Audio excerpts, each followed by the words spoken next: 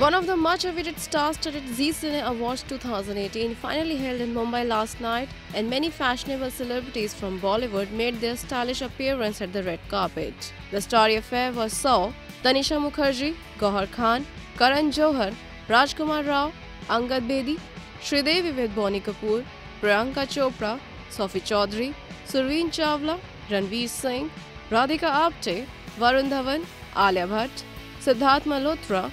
Shahid Kapoor, Akshay Kumar, Taapsee Pannu, Katrina Kaif, Bhumi Pednekar Jackie Shroff and Jacqueline Fernandez among others